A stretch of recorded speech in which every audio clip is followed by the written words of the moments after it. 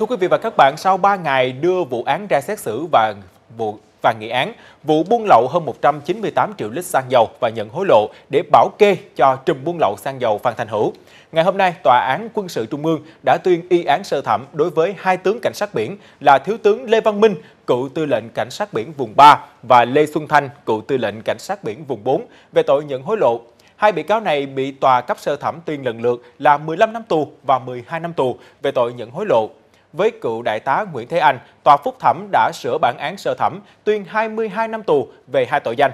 Trước đó, bị cáo Nguyễn Thế Anh bị tòa sơ thẩm hồi tháng 7 năm 2022 tuyên phạt tù chung thân về tội nhận hối lộ, 2 năm tù về tội tổ chức cho người khác trốn đi nước ngoài trái phép. Hình phạt chung là tù chung thân. Hội đồng xét xử cũng tuyên chấp nhận kháng cáo, xử phạt bị cáo Phạm Hồ Hải giảm còn 4 năm tù về tội nhận hối lộ, còn bị cáo Lê Văn Phương giảm còn 3 năm tù.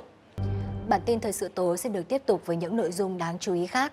Thưa quý vị, với mức tăng trưởng GDP cả năm đạt 8,02%, năm 2022 cũng là năm có mức tăng trưởng cao nhất trong 12 năm trở lại đây. Thông tin được Tổng cục Thống kê công bố vào sáng nay.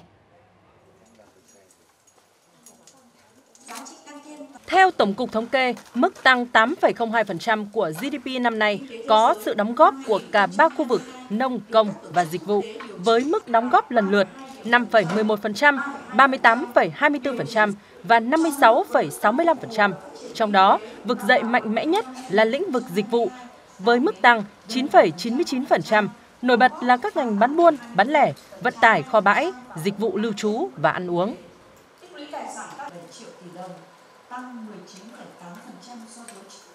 Có thể nói rằng là con số tăng trưởng 8,02% của năm nay là con số hết sức ấn tượng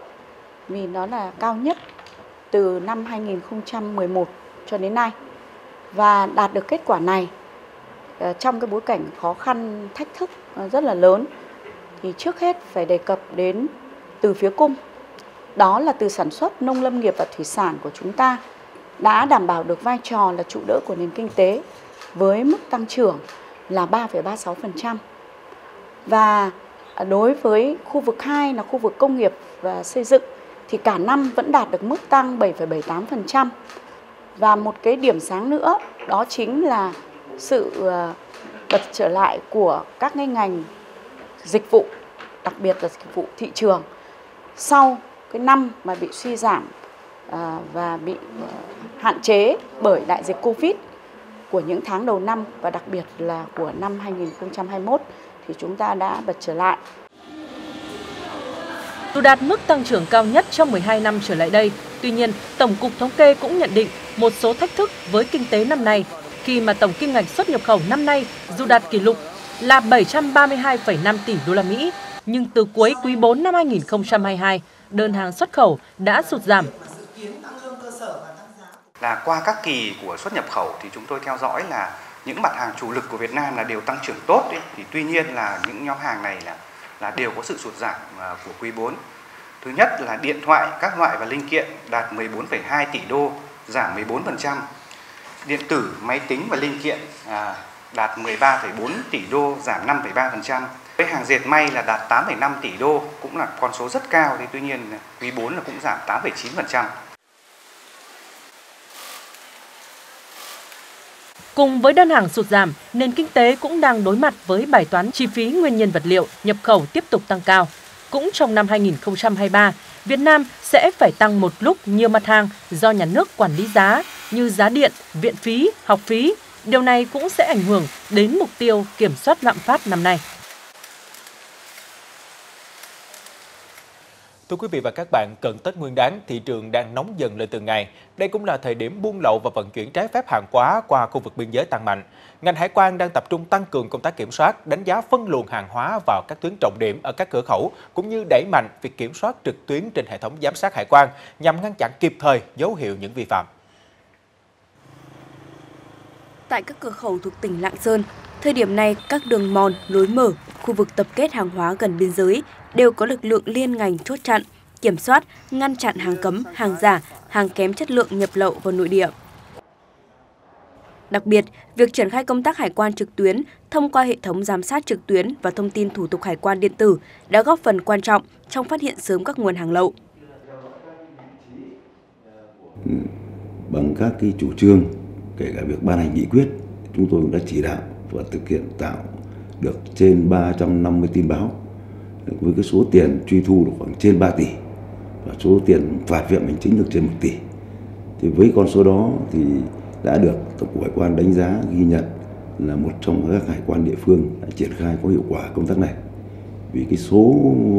tin báo do chúng tôi tự tạo lập cũng như cái số tiền chúng tôi truy thu phạt được cũng đã chiếm khoảng trên 1 phần 3 cái số tin báo do các cục hải quan địa phương trong toàn ngành tạo và thực hiện. Theo Cục Điều tra chống buôn lậu, Tổng cục Hải quan, trong năm qua, ngành hải quan đã chủ trì, phối hợp, phát hiện, xử lý hơn 16.000 vụ việc vi phạm về vận chuyển trái phép hàng hóa, tiền tệ qua biên giới cũng như vận chuyển ma túy, vi phạm sở hữu trí tuệ và hàng giả. Vi phạm hành chính, trị giá hàng hóa vi phạm ước tính khoảng 5.800 tỷ đồng. Số thu ngân sách nhà nước đạt hơn 425 tỷ đồng. Cơ quan hải quan đã khởi tố 45 vụ, chuyển cơ quan khác kiến nghị khởi tố 112 vụ. Thời gian vừa qua diễn biến hết sức là phức tạp với những vụ án có những tính chất quy mô, với những phương thức thủ đoạn là hết sức là tinh vi. Đặc biệt là những đối tượng đã à, khai những cái loại hình như là à, tạm nhập tái xuất hay gửi kho ngoại quan với những mặt hàng có trị giá cao rất khó phân biệt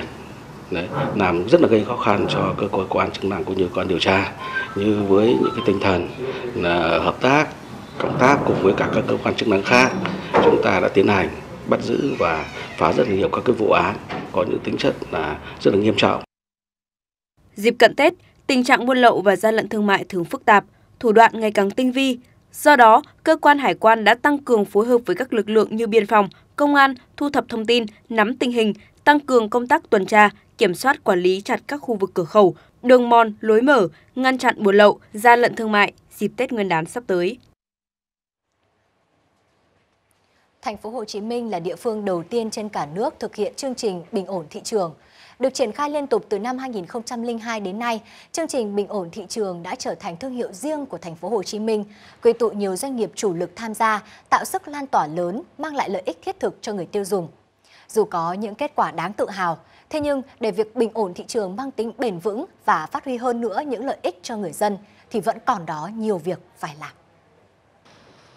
Bắt nguồn từ giải pháp ổn định giá cả các mặt hàng Tết năm 2002, sau 20 năm triển khai, chương trình đã trở thành công cụ điều tiết giá cả thị trường các mặt hàng thiết yếu, tạo động lực huy động phân bổ các nguồn lực, điều tiết sản xuất và lưu thông hàng hóa. Từ hai doanh nghiệp nhà nước bình ổn thị trường đầu tiên thì đến nay đã có 69 doanh nghiệp và 12 tổ chức tín dụng tham gia, trong đó có nhiều đơn vị quy mô lớn, thương hiệu mạnh, chiếm lĩnh thị phần cao. Thành phố Hồ Chí Minh đã xây dựng được gần 11.000 điểm bán hàng bình ổn, trở thành điểm mua sắm tin cậy của người tiêu dùng.